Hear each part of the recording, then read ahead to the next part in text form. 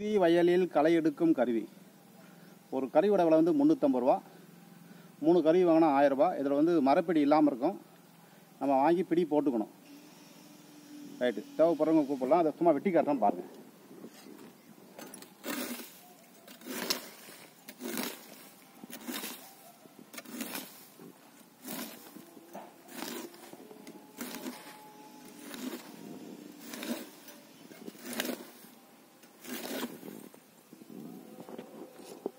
Right தேவைப்படுறவங்க கூப்பிடலாம்.